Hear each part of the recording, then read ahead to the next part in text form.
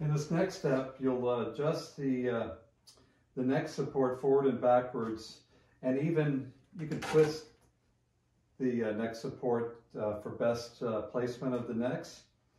It's up to you. Uh, essentially, you want to make sure that the back of the guitar is not sticking out past this edge, this back edge, or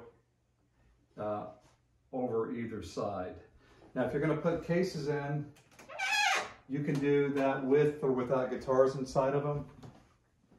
Just lift the uh, adjustable necks supports up like that. And then uh, should have room for one more here probably. It depends on your configuration, it varies a bit. This guitar is uh, a bit wider than this one, so you can move them around, configure them however you need to to get the, the best uh, fit.